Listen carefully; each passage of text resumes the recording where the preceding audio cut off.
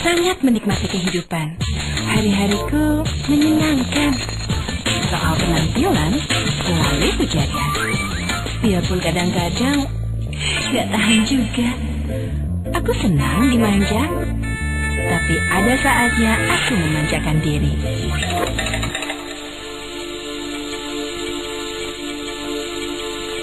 Lux memahami wanita apa adanya.